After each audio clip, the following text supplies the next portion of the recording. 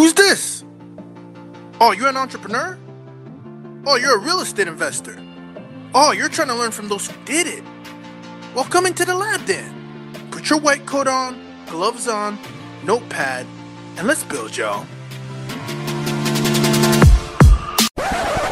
Real estate experiment. What is happening, y'all? Today I have a very special guest. Uh, we're so overdue. That's Jerome Myers stepped into the lab with me. First of all, thank you for coming in, man. I've uh, been, you know, connecting on, on social media a lot. I'm like, it's time. It's time to get business. It's, it's time for you to come into the lab and step in. So thank you for making the time today to come in, man. Man, I'm excited to be with you. I appreciate the opportunity to share with your audience. Yes, sir. I'm I'm gonna get right into it because I actually, you know, I, I think it's a beauty that in this day and age, I've created partnerships, deals have come from social. I just think it's such a powerful tool. Uh, so I know a high level about you, but I'm very, very interested to hear more about your story. And, and like I said, I believe we're a reflection of who our businesses are, right? Uh, or our businesses are a reflection of who we really are. So before we get into what you do, what you can provide for the people, because I know that's what you do, you're a people's prison for your community. Take me a step back. Who is Jerome? Before all, all this that you're doing right now to the, with the community and who is jerome today? Like show me the growth transition and then we're going to talk about your shirt. So you, you make it sound like i'm doing some things. I'm just out here man. I'm a corporate america dropout right? But yeah. I, I got to that point. I was the kid who did everything they told you to do. Go get good grades, get into a good school, get a good job, and then you'll have a great life. And I got to the top of that ladder and I realized that wasn't true, right? And so, yeah. you know, I grew up the soldier of a stay-at-home mom and the son of a stay-at-home mom and a soldier. And you know, my dad taught me to work Carolina half days. He'd leave before six, come back after six, and we sit down and have dinner and talk about hard work and diligence and your word being your bond and all of the things that make you a productive citizen in society.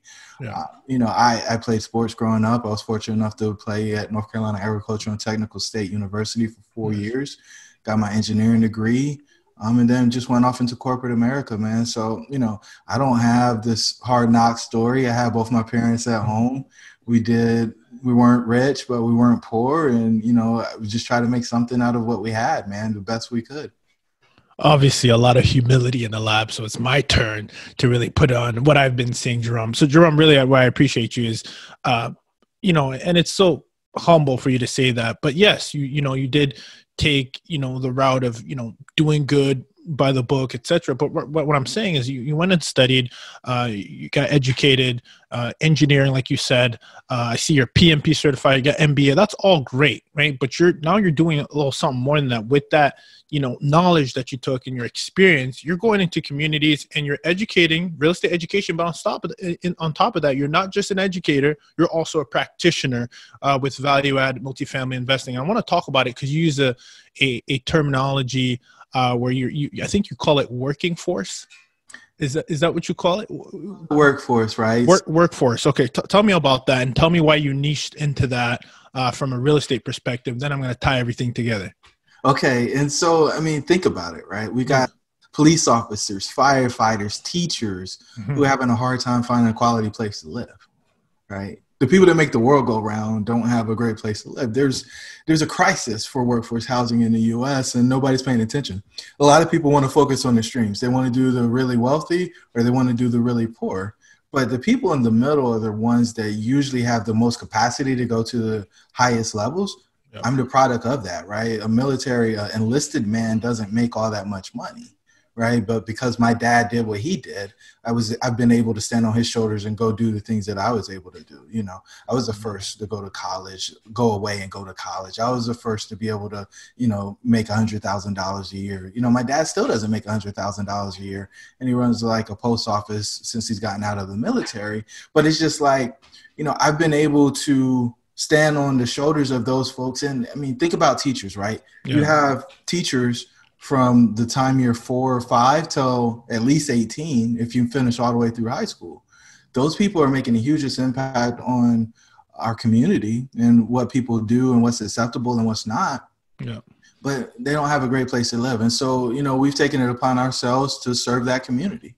Uh, we think that they deserve a great place to live and we want to be the landlords that provide that amazing residence for our residents Okay, so I love that because you're scratching your own itch, and that, that's what I love about a lot of entrepreneurs. They're usually, you know, working within their backyard, right? Something that that they saw was an opportunity or an issue or a problem to solve. So, educate me a little bit, and to those who are listening, uh, we talk about workforce housing. Is that maybe what what maybe some of those are uh, folks are are calling uh, affordable housing, or is that something different?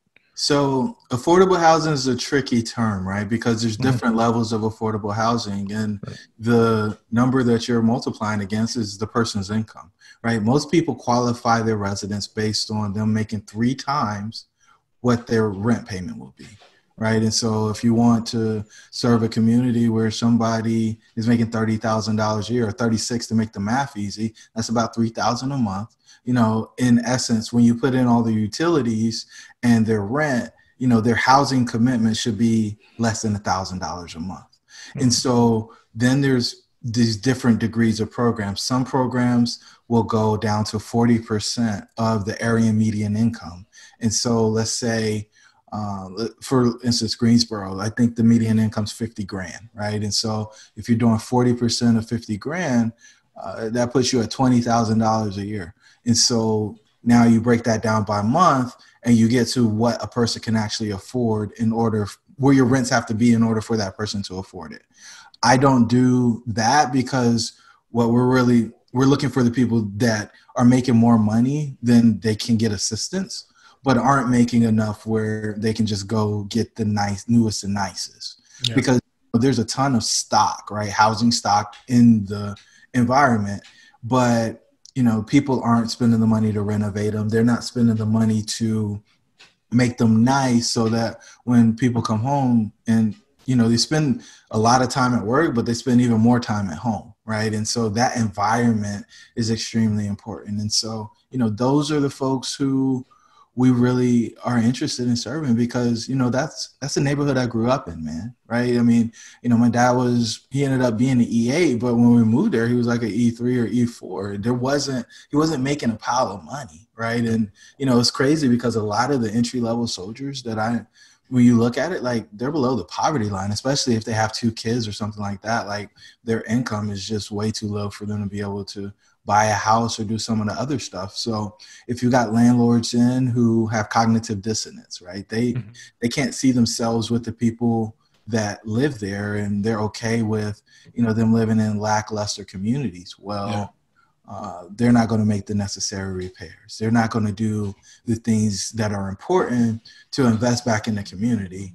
And because that happens, then you start getting crime and people not really taking care of their neighbors and that kind of thing. There's no pride of ownership or pride of where they live.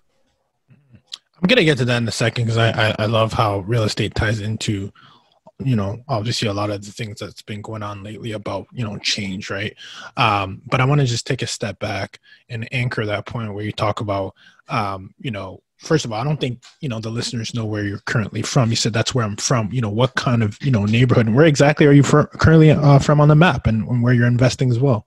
Yeah, so I live in Greensboro. I live and mm-hmm. invest in Greensboro, North Carolina. I had about yeah. ten or twelve years in Richmond, Virginia, but I grew up in Fayetteville, North Carolina, and you know Fort Bragg, which is one of the largest Army bases in the country. Mm-hmm. Um, you know, we we had a really mixed community. You know, we had a guy that was a uh, he he worked for a trash company, and you know he was one of the favorite people in the world. He'd come hanging off the back of the trash truck. He'd grab our trash, put it in, and then pull the lever. And that was the part that got me excited at four and five. He pull the lever, you see the trash get crushed. You know, I had my own little trash truck, and so I'd come get paper and do the same thing he was doing. And there was one day when I told my mom, "Hey, I want to be a trash man." Right? And she looked at me in a way only a mom could do, and she said, "Baby, that's not going to buy you the Nikes and the, the, jeans and all that stuff that you like. Um, you got to get a job that's going to afford you the lifestyle that you want to live. So if you want these nice things, you got to make a lot of money." She said, "Maybe you could own the trash company, but." You know, just being a trash man isn't a big enough dream for the life that you want to live. And I was like, man, that is that just that was a light shift for me because it's like okay you can't just go do what you enjoy you can't just go do what you like you actually got to figure out how you're going to make money in this um, pursuit of uh, fulfillment in your life through your work and you know it's not a slight for my dad but the reality of the situation is like he would leave before I got up and he'd come back at dinner time. And sometimes I had to wait for him. And, you know, I might be a little uh, privileged little kid, right? Like, I'm ready to eat. Dad, why, where are you at? Why are you not home yet? Right. Yeah. At the end of the day, being fortunate enough to have my dad come home every day where we could have dinner is something that I didn't really get or really appreciate. But when I compared that with my man Lonnie, who was a trash man, you know, he was home at three o'clock every day, man. Right. So, you know, yeah. he, and you know did they make similar money i don't think so i'm sure my dad made more money than his but the fact of the matter was he had that time freedom you know when his kids got out of school they were coming home and he was there to hang out with them and you know part of me wanted that i, I wanted my dad to have that time freedom Wow. So I, am getting so many gems when you're speaking, and I want to tie them together. In the lab, we're taking notes because I think this stuff, we're not just taking it verbatim. Like, this is really good stuff. And I want to get into it. So you're talking about one thing that I noticed that you said is, um, you know, I think it was Lenny. Is that what his name was? Lonnie. Lonnie? Lonnie the trash man. Lonnie. So what's interesting about that is like you saw something, and this is why I think it's important, even like you being on the show, you know, someone who looks like us, who, you know, I think it's important to to show that because what we see is what we're like, okay, this is probably what I want because this is what I've seen. This is, you know, right? And that's what you saw. And then what I think is really interesting is, you know, how your mother, which, you know, at what age uh, did, did you have this conversation? Because I think it's just so important, like the pivotal mind shift. Yeah. What was that? What age was that? Like four so then there's that paradigm shift. And then there's also what you're seeing your day to day you know in the working class and you talk about freedom as well. So i'm going to circle all this and tie it to you know really what you're you're wearing right now. You, it, you know you took the red pill and you and you talk about this too about you know you know unplugging you know from the matrix or, or i guess you'd help people exit the matrix. Do you want to talk about what you mean by taking the red pill? Because i feel like somehow lonnie the freedom and the working class whole thing is going to tie in together. But I, I, I could be wrong. I just want to see. No, we're gonna put a bow on this one for you, brother. So, you know, I, I, hopefully your listeners have seen The Matrix. If not, it's a yeah. documentary. It's not a sci-fi movie. It's a documentary, and they need to go watch it, right? Yeah. And so, what happens is we get in this system where we're doing these things, and somebody's dictating to us what we're supposed to be and how we're supposed to do it. And the reality of the situation is we were all put on this planet to accomplish a major mission. And too many of us have decided along the way that that mission wasn't important and they trade it for other things. It can be money, it can be prestige of a title, it can be because they feel like they have a family and they can't actually take a risk because they don't know how the mission is going to work out. But the fact of the matter is, they all have been placed here with this thing that they're supposed to do. And you just have to have the courage to actually unplug from what people tell you should do. And I, you know, last month made 10 years since I got a haircut, right? And when I was going through that process, people were saying, well, Jerome, you, you, you got to be careful. You're going to mess up your career. I mean, you got a bright future here, but it, if you do certain things, it might impact your ability to continue to progress here. And my thought immediately was, well, what exactly am I getting these haircuts for, right? Uh, am I getting them because it makes me more approachable? Do I look neater? Like, what is it about my coiled hair that is a challenge?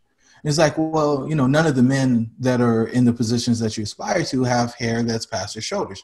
Okay, well, I'll keep my hair above my shoulders if that's what I need to do in order to be accepted here.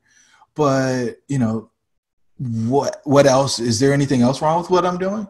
Is and so we kept going down that path and what I realized is no, you, you, need to cut it because that's what other people have done, and you need to look like other people in order to get to the place that they're in.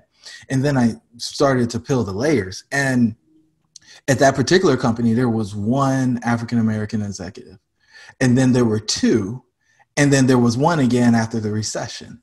And I thought to myself, wow, um, so I've got to be the one out of the 17,000 people that work here does that make sense? And when I took it even a step further, it's like, it doesn't matter what I do with my hair.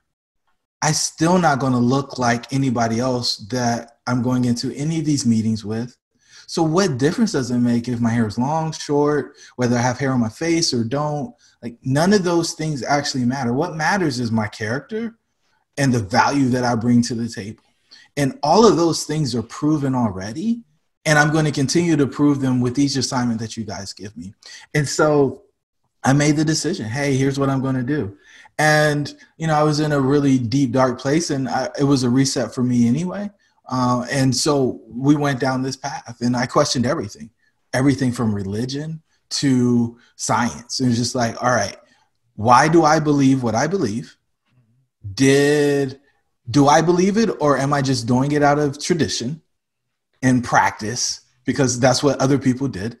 And when I peeled back all those layers, I realized that the majority of the stuff I didn't believe, I was just doing it because I saw somebody else did it.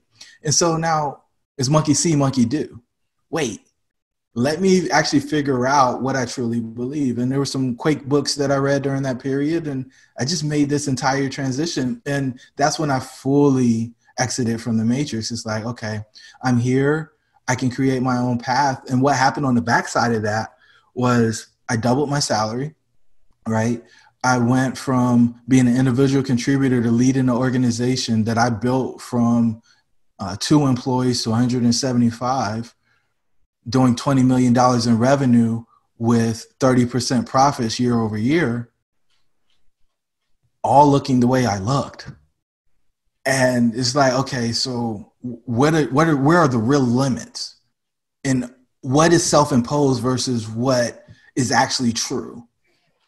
And for me, I learned that we decide, we put these limits on ourselves trying to uh, govern ourselves or acquiesce in a way that nobody will say anything to us instead of deciding that this is who I am, this is what I'm doing, and I encourage you to accept me as I am.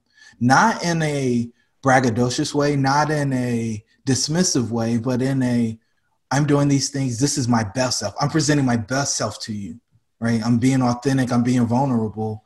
And in doing that, I'm giving you the opportunity to see me in my true essence and in that true essence i'm able to deliver on that mission that i was put here to be and so for me you know that ends up being inspirational that ends up being motivational and transformational for some people who've decided oh well i can't do that. They won't allow that.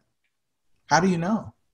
Well they told me that i got to be twice as good and work uh, twice as hard to get half as much. How do you know? And are you doing your best right?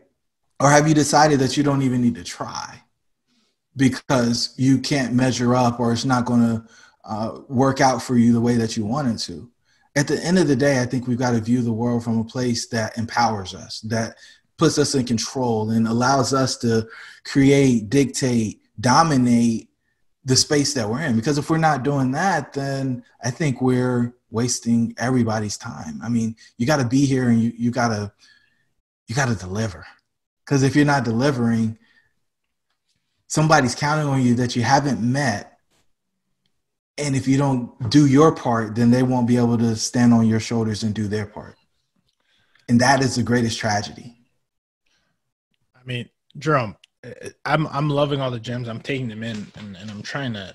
It's just there's so many points that I was just like, oh, I want to go down this this rabbit hole and, and even build on this conversation because it's just so deep.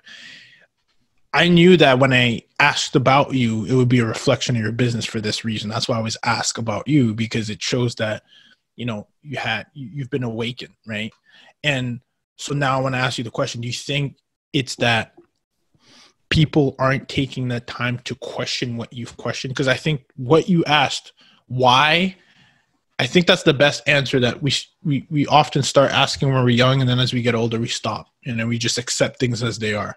As so, what is it that is it the fact that people aren't asking that question? And and we're gonna transition to real estate real quick. Of this is how it must be done. Tell me, what do you think uh, one should do if they're listening and they and they want to take the red pill? What should be that first step? Yeah, I mean, I think you got to decide what you believe and why you believe it right? Because, you know, if you haven't traveled internationally and actually immerse yourself in the cultures of other nations, then you're missing out on a tremendous opportunity to learn about life. And a perfect example was, you know, riding the ATV through a coffee farm and having a little girl run up to the ATV, begging for money. And you can see in her eyes that if she doesn't get the money she might not eat right? And we think about all the things that we complain about and how frustrated we are about things that are meaningless this little girl's trying to figure out how to eat. And she's begging strangers because at the age of 8 or 10 she doesn't have anybody providing or caring for her. Right? So you know i i think the red pill all comes with you know self-awareness internal mm. reflection. And it, my my good friend and coach james bryant calls it the mirror moments right? You go and you look in the mirror and you ask yourself you know when i get to the end of the road and they got the checklist and it says you're supposed to be this this this and this am i going to be able to smile and say yeah but you forgot about this this and this are you going to overperform on the breath that you've been blessed with? Or are you just going to struggle through the day? Right? We, we want to be survivors, not thrivers. I don't know who taught us that nonsense. Right? We, we're here for a reason and we got to live in the true essence. And so, you know, you, you brought this up and it's for me, it's super valuable. And the value of it is this, man. So I'm, I'm this descendant of, um, Nigerians. I'm, I'm Yoruba, right? We, we, we, my great great great grandfather crossed the Atlantic Ocean in the belly of a slave ship, right? Who am I to complain about anything in my experience? Yeah. Who am I, right? Because I mean, I've never, unless it was self imposed, I've never worried about where my next meal was going to come from, right? I, I was able to get a car when I was in high school. Like all of the luxuries that I have, if I compare it to anything that he had to experience, who am I to complain about any of it? And how who am I to waste the opportunity that I have not to excel and be excellent and shine a light on our heritage, our culture, our community, so that other people can get the opportunity just in case they're looking for that person like I was looking for when I was in corporate America, right? When you look at the speakers on podcasts, when you look at the speakers at conferences, and we'll go to multifamily right now, right? Where's the diversity? Who's right. up and setting that example for the people who aspire to that? I think you are, Jerome. And that's why we have you in the lab. no, but I look, I love the and and I'm I know I'm catching you in the middle of a thought. I just I don't want this to slip through the cracks you're talking about gratefulness and i think this is a really good time and we're not going to be uh, tone deaf to talk about you know pride being grateful but then also seeking for more right and and building on that and i love how you're combining the two uh in the sense that you know this also taps into limiting beliefs where where, where you know we're not going to let limiting beliefs get in our way but it's at the same time you know we know what we're worth. And and the only way you know what you're worth is i think what by looking in the mirror and i and i love that. Um i mean that's so important and, and i'm so glad you're you're bringing this to light and and and um, that's just fascinating really. So let me let me dive down because I, I didn't answer your question. And so yeah. For exiting the matrix for getting your red pill blue pill moment you got to yeah. your morpheus right i think everybody's the superhero of their story and you've just got to find that guide who's going to present you with the choice of going back to what you've always done or giving you the opportunity to take the red pill and go down the rabbit hole, right? And see how deep it goes and retrain yourself, recalibrate so that you can come back out and manifest that mission that you were placed here for. Because a lot of us, you, you talked about the kids and you did it right. We ask why, we dream big, and the world beats us up. Be reasonable, be practical. And the reality of the situation is that's the greatest and fastest way to get to mediocrity. But there's these people out here, these dreamers, these dream catchers who are pursuing it and they're running counterculture and they're telling you to do things that other people won't because it just doesn't seem practical. It doesn't seem reasonable, but who cares? Because you can do it. That's why you're here. That's why it's in your heart. Like they don't put in your heart they don't put in your mind for it just to stay there. It happens twice. First in your mind, then in the reality. It's it happens twice. But everybody doesn't have the same thoughts. And so And then you got to be willing to pay the price of admission. That's the last piece, right? So you got these huge dreams. You want to live an extraordinary life. You got to put extraordinary effort into it. Absolutely. That's a fact. So I we like giving tactical, you know, I like giving tactical advice in the lab, right? Like if I got my notepad, I'm listening to you right now, I'm gonna put you on the spot. Like if I'm and, and we like the youth and, and anybody who's listening, I think we can all reinvent ourselves, um, no matter what age, you know. Um, what is what does taking the red pill look like in my current neighborhood, my current situation? Who is my Morpheus, right? So, what would what would you advise to someone who's listening right now to be like, you know what? Is it just waking up in the morning and just really thinking and making a, you know, maybe it's journaling? Is it reaching out to a mentor? And I and I know I'm talking to the right person because you're tapping into all this. You're building communities, you're building masterminds. I think it's fascinating. We'll talk about that in a second. But what tactical advice would you give to a listener right now to for them to take their red pill? Yeah, tactical advice. One, read the four agreements. Start there, right? Read the four agreements. And I'm not going to steal the thunder. Just spend the hour reading the book, right? From there, start deconstructing and asking about everything that's foundational. Start with your religious practice. Then move to the lessons you were taught as a child. And then I think the favorite question that I like to ask people when they come into our program is when did you decide who you were? Or who you're going to be? Was it when you were four? Is it when you were eight? Is it when you were 12? Whenever it was, all right, does that view of the world still put you in power and benefit you so that you can actually perform against that mission that you have? Wow. Right. And, you know, I think a lot of people decide, hey, I'm going to be this at 12, and then they achieve it and then they're done. Or they realize that hey the world's not fair. There's a whole lot of people out there who are bad. And so because of that i'm not going to try. And they don't ever actually get to that place because they've decided that the world is happening to them instead of for them. And so in those two things you can get clear. And it's all about clarity. Once you get clarity then you can go back and say okay so this is what i'm working towards and we're going to reverse engineer it now. I'm working towards this. How can i get there do a gap assessment. All right, done the gap assessment. I'm missing X, Y, and Z. Do I make it or buy it? Do I go outsource this or do I acquire this skill myself, right? You're a podcast host. You either edit your own podcast or you outsource it, right? Plug to investedtalent.com. thank you for that, Jerome. You didn't have to, but thank you. Yeah, right. So you you do that, and then from there, you just need somebody to walk the journey with you. And that's the last piece, right? You got your strategy, which you developed from the gap assessment. And now you just got to stay accountable. And you got to be willing to work at it until you manifest the result. A lot of people quit. A lot of people give up. A lot of people say, oh, it's not working. You just got to hammer that nail until you get it in.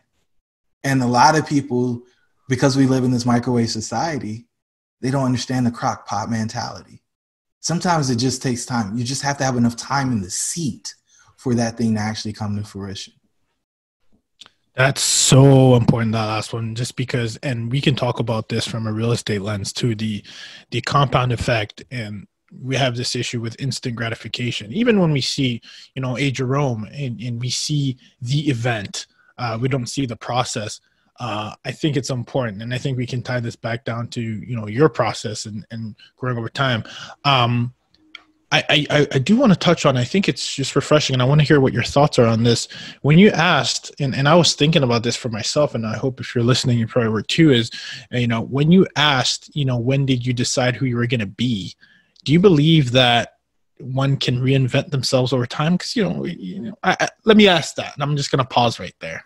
Short answer is yes, right? Yeah. When you decide who you're going to be, right? If you decided at 12 and that's not who you want to be anymore, well, you got a great opportunity to decide who you're going to be today, right? But the difference is it's not just talk, right? Your actions have to line up with that, right? It's be, do, have. So you, you have to be it. Mm-hmm. Then you do the things necessary to confirm your belief in you being. And then you have the result of what that is you don't not you're not wealthy because you haven't become the person you need to be in order to have that wealth but when you become that person then you do the work then you'll have the wealth it's just like knocking, right? In, there's a scripture in the Bible that talks knock and it should be op- open unto you, seek and ye shall find. Like you actually have to do the work, but you have to do the work after you do it internally and see it in your mind. Like people skip that part. They either skip seeing it in your mind or they skip the work and they just want to get to the end result. I think we spend a whole lot of time emulating what the back end of what a successful person does instead of all of the stuff that you didn't see before they got there. Right. Mm, I love that. You you must have read. Have you read The Millionaire Fast Lane? I have not. Okay, this is your book, man. This is I, am gonna take the four agreements, and you're gonna take the the Millionaire Fast Lane. Let's because, do it. Because I think it's literally you're you're speaking his language. MJ DeMarco. You guys check it out. We're gonna we're gonna uh, transition into the keeping it real segment. Um, listen, I I'm curious to hear this because you know you're kind of in the space that I'm in, being a practitioner and at the same time helping people, right? And well, let me preface by saying you're always helping people. So which one do you like both? You're either helping people with boots on the ground, your entire team, your company, or you're helping people, it sounds like, at a group level too or individually, but on the education point. Which one do you feel pulls you pull, you're more drawn to? And, and is there a reason why? Yeah, man, I'm a practitioner, right? Yeah. I'm a practitioner. I, I met a monk uh, last fall, mm-hmm. and he said, "Look, man, I, I'm not a teacher. I'm not your guru. I'm a practitioner. And if you want to learn how to be a practitioner, then you can come watch me practice." And I was like, "Ooh." Mm. touching my soul with this one. And the reality of the situation is like there's a lot of educators, right? And the educators probably make more money through education than they do running their business which is fine if that's your model.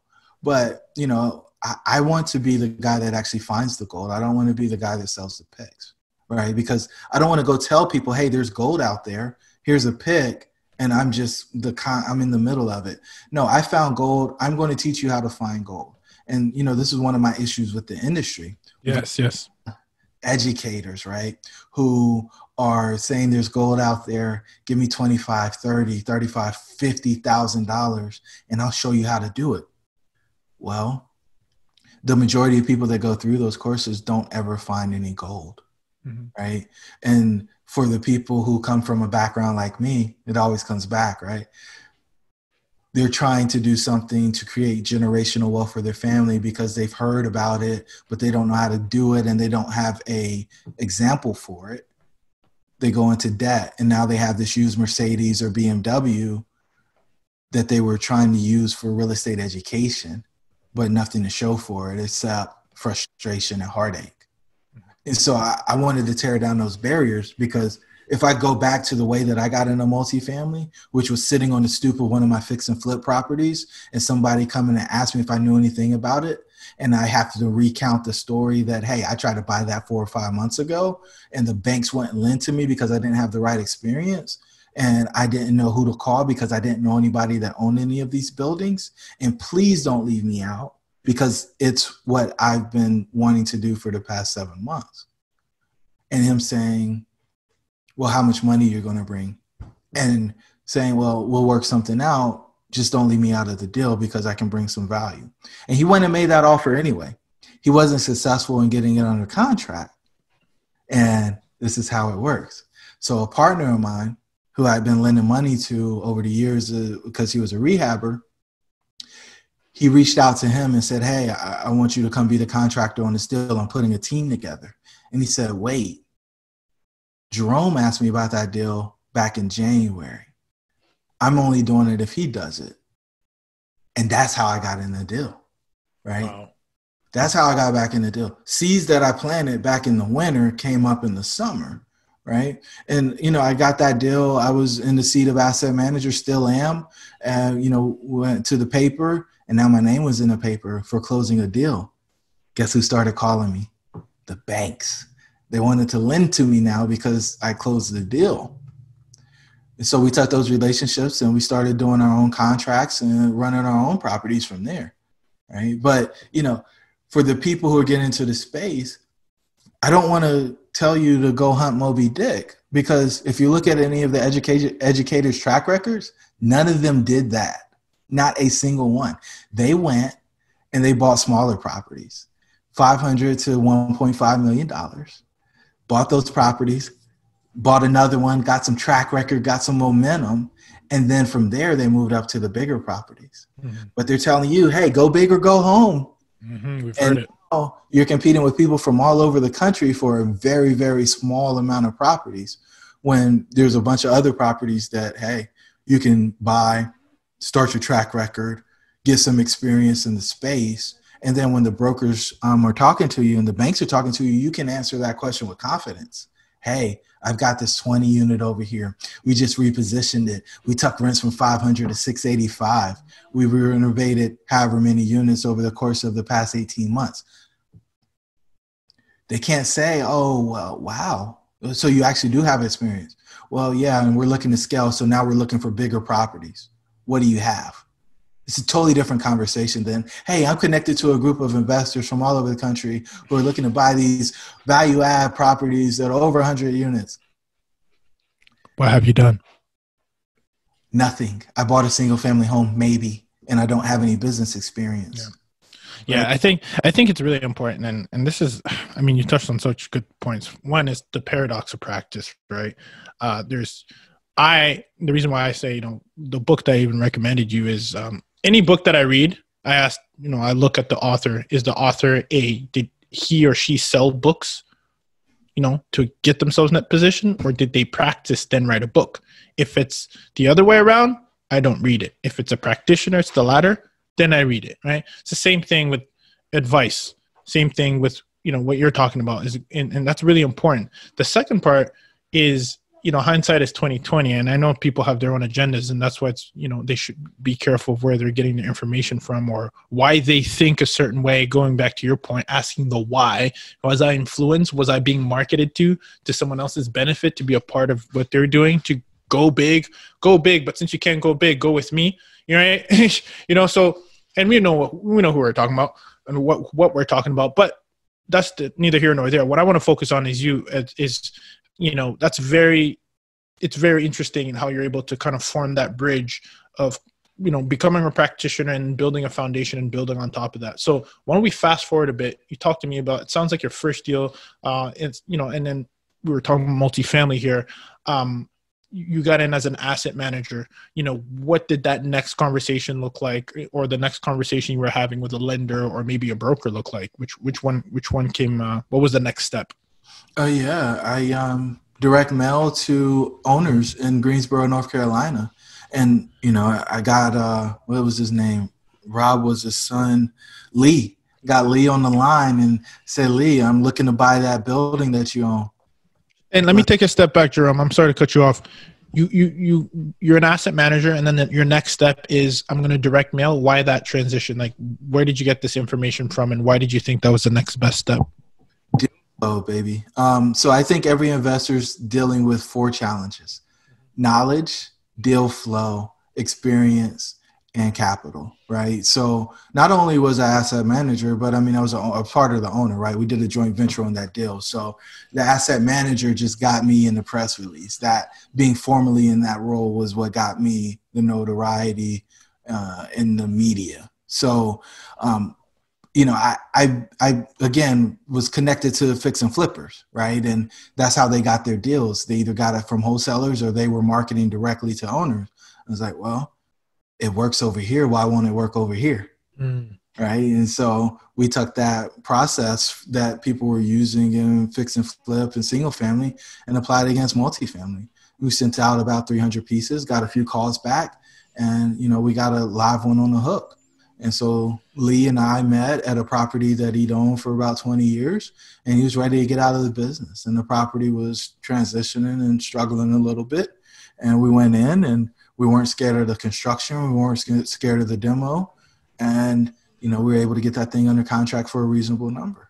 And to give people some context of of the type of properties you're talking about, so the first one you're a partner on a deal, how large was that, or not that the size matters, but I'm just to give people context. And then what was the next one uh, after that?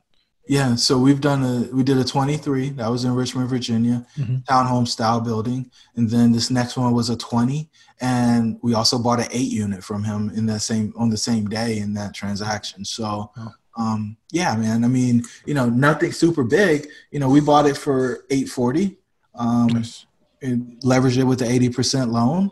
And then we went to work on renovating the units. And, you know, that first property, we did a heavy value add. And when I say heavy, I mean, we did roof, siding, uh, first floor half bath and laundry room, taking walls out to open up the concept, um, you know, tile, uh, granite. Like we touched every surface, new parking lot, landscaping, all of that. Wow, stuff. that's a real good way to get your hands dirty on the first on the first or second one. That's uh, that one was pretty intense. And so then the next one, you know, we're doing light stuff, lighter stuff, you know, cosmetic, cosmetic, right? Inside, right? But you know, we got through that. We're basically all the way through that, looking to refi it out, coming up on two years of ownership on that one, already refi the first one. And so, you know, the the game for us is really just come in, force the appreciation through improving the operations. That could be reducing expenses, that's increasing income, and just creating that spread for the net operating income. We do those two things, and then from there, you know, we're able to go back and execute that BRRRR method, right? Buy, rehab, uh, rent, yeah, re- refinance, yeah. You know, there's a lot of R's, but yeah. there's an extra one in there for Ruben too. uh, no, go ahead. No, and so you know we're just executing that strategy over and over again, and then you know if somebody really wants it, we'll sell it. But you know we're in this game for cash flow, right? Yeah. playing yeah. a cheat game. We're not playing the uh, do a transaction game. It pays bigger short term, but long range you can't build that tsunami. Hmm. Mm, I love that. So, uh, one thing I really want to anchor is that you, that you keep mentioning is you know you talk about having the exposure and, and you getting your foot in the door. Um, I had partners tell me this were a little bit ahead of the game. They were GPs on a deal, uh, and they were saying how from a lender perspective, there's more credibility. Um, and and is that is that true rather than let's say a limited partner because I guess you're you're more I guess on the on the front lines is is that is that true? Or is that what you mean also by being kind of like in the in the in the limelight of what lenders see as a credible uh, future, uh, I guess, potential client of theirs?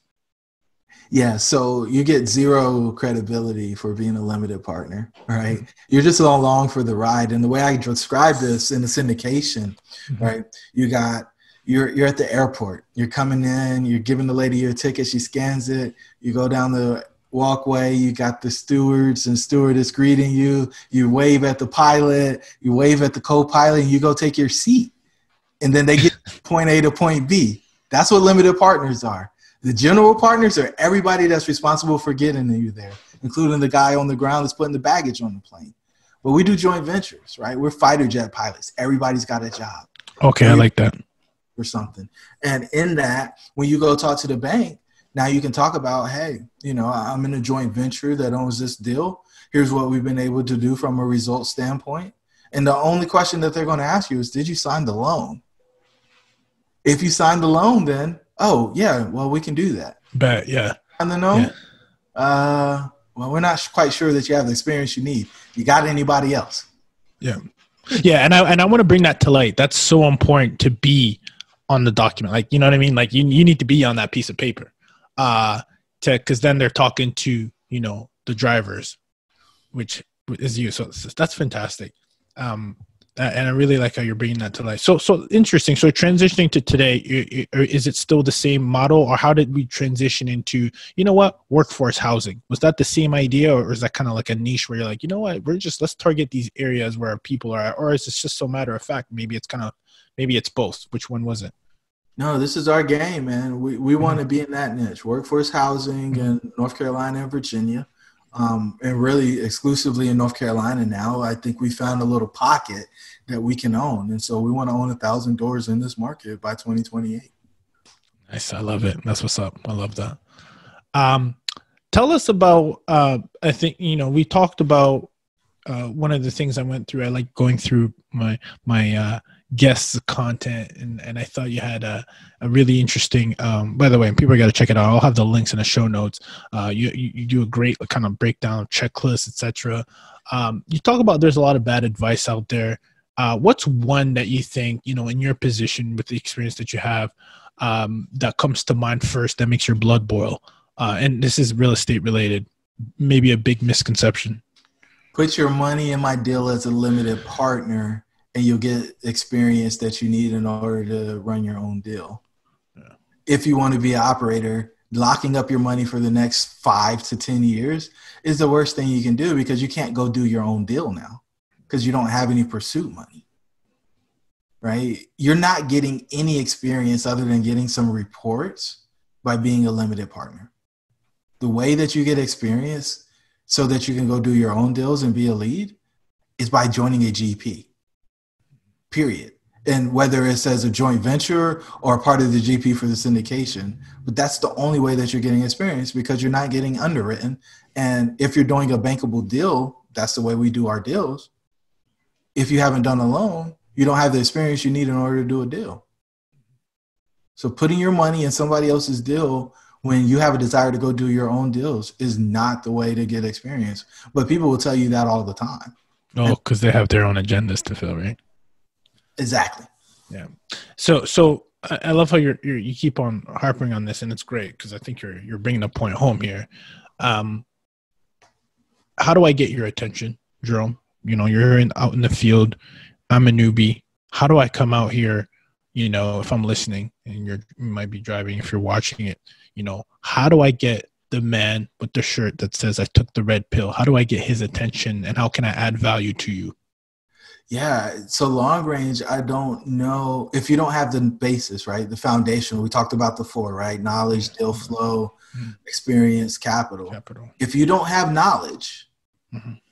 I can't help you other than to say, hey, take our 11 week course that's going to walk you end to end on how to do a joint venture deal.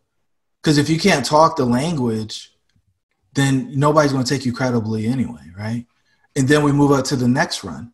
Every body that's in this space is looking for deals. You have the knowledge, now you can evaluate the leads to see if you have found some deals. Letters are the same, very different things. Leads and deals are not the same thing, even though people think they are. And what I will tell you is you need that knowledge. And it does me no good for you to bring me a bunch of leads, right? Bring me a deal. Then we can reward you for finding the deal and bring you into the fold with us even if you don't have experience, because you don't, even if you don't have a ton of capital, because you probably don't, but you can get rewarded with some ownership for doing the hard work of finding the deal. Yeah. If you've got capital or you have a network that has capital, then there's an opportunity for you to co GP that way. But you still need the knowledge. Everybody wants to skip the knowledge. Nobody wants to actually get educated. Because it takes time, right? Process, process, process. People want event it takes time, but I did it this dumb way, right? It was the most inefficient, and ineffective way. I Tell us. I listen to 40 hours of podcasts every week. I still do. What would you do differently today, knowing what you know? Of course, right? I need somebody to curate the content for me so I'm not spending 40 hours to get an four hours of good knowledge out, right? Mm-hmm. I, I, I was confused. I was listening to every educator out there trying to figure out how their systems mesh with what I had. Right, I was trying to execute their strategies in my game, and they didn't always agree. Yeah. Just like I don't agree with most of the big guys out there right now, right? Because I'm telling you, if you're a new investor, I want you to go do a deal that's between 500 and 1.5 million dollars 1st mm-hmm. I want you to get a quick win. Once you get that done, get it stabilized, get your experience with the reposition, then I want you to go do a bigger deal or go do another deal the same size if you want to get some more experience that way. But work your way up. Stop going to go get Moby Dick from the beginning and get some tuna in the boat. Learn how to eat off the tuna and then go get some shark, some swordfish, right? And up and get you a well if you want to. But uh-huh. the reality of the situation is for every 200 buildings that are in 200 unit apartment buildings that are there in a city there's probably 10 times that as stuff that's 100 units or smaller that people from all over the country aren't chasing. Yeah there's a gray area. There's a gap. You got a strategic advantage. Mm. if you're the one playing in that space are they harder to run? Yep. Is it going to be more difficult to make money? Yeah. But if you figure that out imagine being able to take that skill set and go big Yeah, can you let's talk about that for a second, um, real quick as we transition towards the end. What are some of the nuances? Because uh, I know people advertise this stuff differently, and we're hearing a lot to talk about the real stuff, right? Uh, what are some of the challenges that you might come across when you are playing in in in a range where the big Blackstones of the world they're not they're not looking at that. That's too too small for them. They wouldn't even glance at it, which is an advantage for us. And then the you know the most of the investors who are maybe in the duplex, triplex, quads, maybe they're afraid to take that next leap. So then there is an opportunity. But with that small gap of opportunity, uh, what are some of the challenges that you face maybe in the 20, 30, 40, 50 unit uh, range um, that you that you that jumps out at you that you know are things that people will stumble upon? You don't have on-site management, right? And so the big is it all self-managed, Jerome? No, we use third party property management, right? But the big bad property management companies with the best branding don't want that, right? They want to put a person there so they can charge payroll and then charge you their commission on top of it for organizing everything. Uh, and so that is the biggest one. And the property manager is critical to the execution of your business plan. You got to partner with the right property management company. How do I know? Because I did it the wrong way the first time right? But when you get somebody that specializes in this asset class, they can make your world amazing. And when you say they, I want to make sure we don't mis- uh, confuse that. You're saying the property manager has experience working in that specific asset class. You're not taking a chance with someone who's going to figure it out. Is that what you meant? You do not want somebody to figure it out with mm-hmm. your mm-hmm. property. That yeah. is not what you want. You you want somebody who already does this successfully, especially if you're new, right? Because you don't know what questions to ask. You're yeah. expecting them to guide you along the way. And a lot of property managers only want you to report on the back end, right? They don't want to have those conversations along the way. Uh, can you can you elaborate on that, Jerome? I'm not not familiar with what you mean by that. So you'll get your monthly reports from the property manager, and you don't know if you're going to make any money till the end till the 10th or the 15th of the next month, right? So reports just came out for May. Oh, in arrears, you mean? Okay. You know, I I got those last week, and so the reporting like we have conversations. For instance like as soon as i hang up with you i'm on the call with the property manager to have our weekly conversation about what's happening. If you're not talking to them regularly you have no idea what's going on. They'll just send you a report at the end with some pictures and say here you go. Right? And so if you're counting on that money to pay your mortgage or to pay some other expenses or to pay the people that own the deal you're surprised Excellent. And I know uh, we're, we're, wrapping up here, so let's wrap up. Um, headed towards the top of the hour. Real quick fire round. I want to hear. You got so much knowledge behind you. Tell me, quick, real quick, favorite book. Ooh, so I'm gonna be selfish here, right? I, I I recently released a book called Your Dreams Should Be Real. Nice. Uh, it's available, and it for anybody who's trying to figure out how to exit the matrix. I walk you through the process in that book. I love that. We'll definitely be including that below. Um, the best habit that serves you every day, Jerome.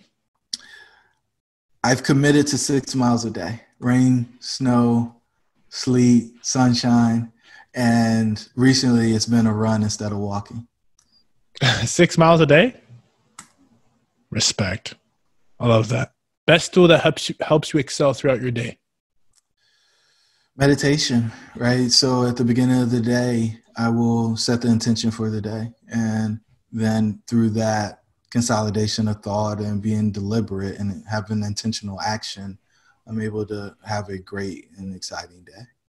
Love that. If you could describe a successful investor in one word, what would that word be? Consistent, right? Consistent the difference. Love that. Well, love that. What question you wish I would have asked you, Jerome? This was more than real. Talk to me, brother. What did I miss? What's your thesis on life? Ooh, I, I, you want to shoot another podcast for that? Come on, you're gonna get me in trouble. You're gonna run for your. we could go down. No, I. You know what? And I'm looking forward, uh, my friend, to to build on on on on that uh on those type of questions. Uh, what is your thesis, real quick, in a in a one one liner? What if you were to describe it? Your dreams should be real. That's real.